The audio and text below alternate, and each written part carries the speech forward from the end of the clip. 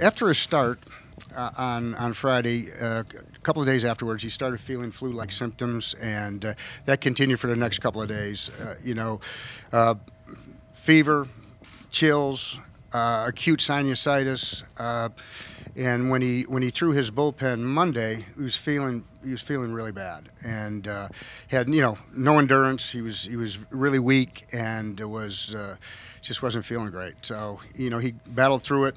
We uh, we aggressively, uh, he saw our doctors, they aggressively put him on a antibiotic regimen, uh, anti-inflammatories, and uh, fluid I- IVs. He's, he's taken several IVs the last couple of days, last night, and, and, and again today.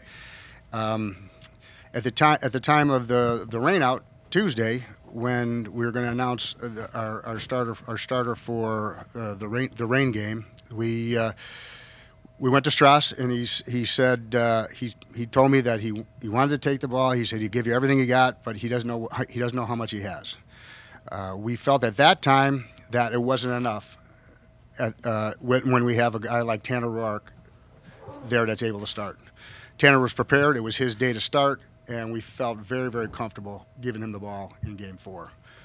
And then, as of today, we gave him uh, we gave him a we switched his uh, we switched uh, Stras's antibiotics, uh, gave him, gave him a, a higher dose, uh, IVs and fluids throughout the evening, and this morning he felt much more like Stephen Strasburg. So he came into the clubhouse and went went to the manager's office and and said that I'd like to I want to start this game, and the fact that he was much more like the real Stephen Strasburg, we felt that that Stephen Strasburg gave us a much better chance to win Game Four.